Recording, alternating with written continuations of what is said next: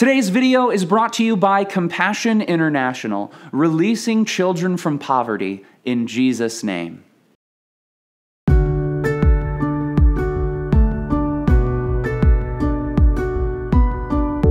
Hey old friends and exotic hens! What's up everybody? My name is Jon and welcome back to the channel. It's good to be back making videos again. Today we are beginning a brand new 3-week, 7-minute sermon series, so that's 21 total minutes give or take. Today we're starting a new series on the biblical concept of justice. Now, I know a lot of you out there probably watched the new spoken word poem that I put out on this channel last week. If you haven't seen it, it's about justice, and much of this series over the next three weeks is going to be all about unpacking and diving a little bit deeper into some of the words and concepts that are brought up in that poem. So if you haven't seen it, well, then you should probably go and see it. So, let's talk about justice. Justice. Justice. Justice.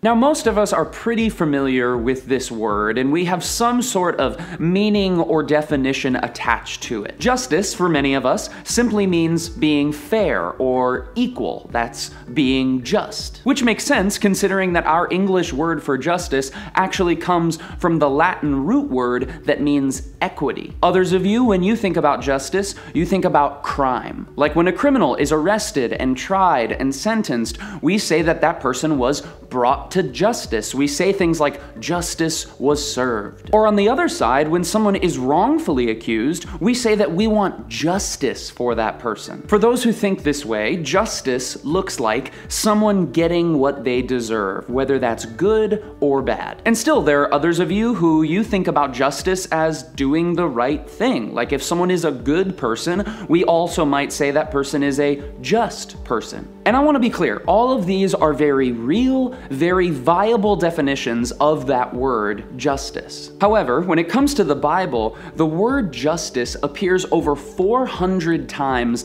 in the Old Testament alone. The Bible's got a lot to say about justice. And the Bible also speaks of many different forms and meanings of this word, like we just talked about. But the very earliest foundations for biblical justice is actually found on page one of the Bible, in Genesis. In the beginning, in the creation story, God creates the heavens and the earth and everything in them, and it was all good. It's all good, baby. And we learn that humans specifically are made in the image of God. And this means that humans are meant in a way to be a representation or a reflection of all of God's beauty, His power, and His goodness in the world. And something that's actually very unique about the creation account that we find in the Bible is that according to the Bible, all humans are made in the image of God. Not just kings, not just men, not just people of a certain race, but all people are made in God's image. And the implications of every single person being made in the image of God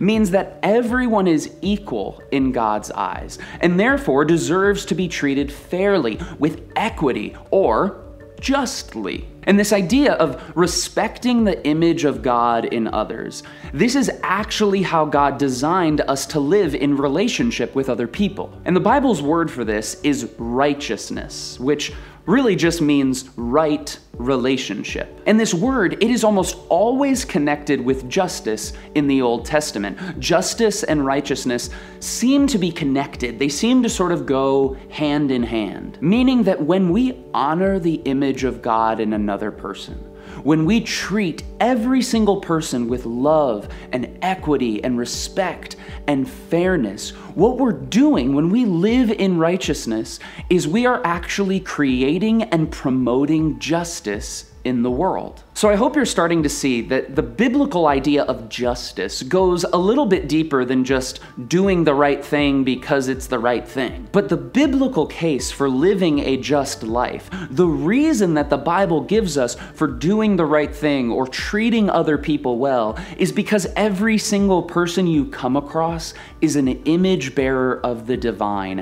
And to disrespect the divine image within them is not only to disrespect or dishonor the person, but it's also to disrespect or dishonor the God who made them. Now, this might seem really basic, right? Like, be nice to people. Yeah, thanks, Jon. Went to kindergarten. But the question that I want us to ask ourselves today is how are you doing with this? Are you truly treating everyone you come across as an image bearer of God? Are you not just being nice, but are you truly respecting and honoring the divine spark that exists within other people? Both people you like and people you don't like. What about the kids at your school who annoy you?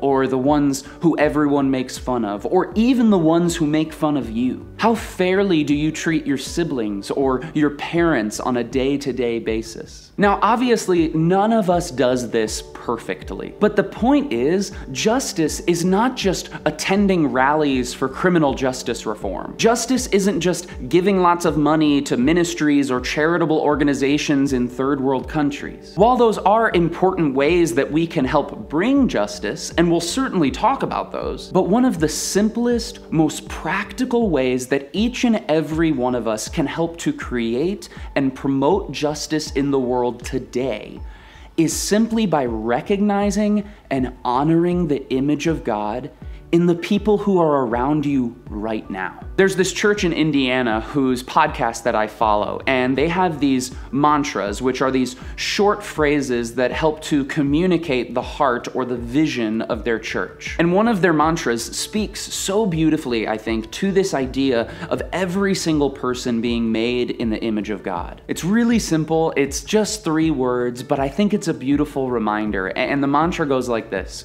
Everyone an icon. Meaning that every single person you come across is an icon or an image of the divine. And so, in every interaction, and especially in the interactions with those who are hard to love or honor or respect, I want to encourage you to borrow that mantra everyone an icon and allow that truth to drive you into right relationship with everyone around you. This may seem really obvious and really easy, but this is the first step to promoting the biblical project of justice in the world.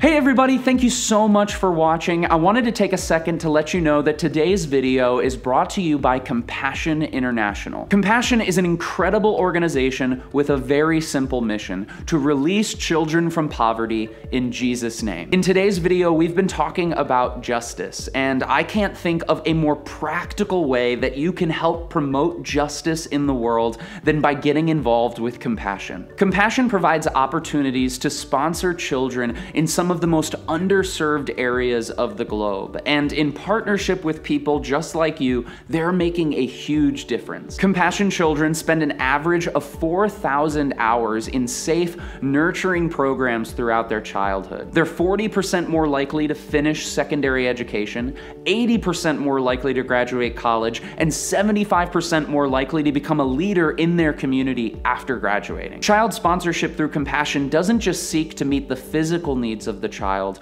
but also the emotional, the intellectual, relational, and spiritual needs. Sweet Bear and I sponsor a child through compassion, and not only do we hope that our relationship with Imani is transforming her life, but we know that it's transforming us. So if you're interested in promoting more justice in the world and looking out for the left out, I highly encourage you to go to compassion.com slash Jon and just get some more information today. That's all I have for you this week. I love you all. Keep being awesome.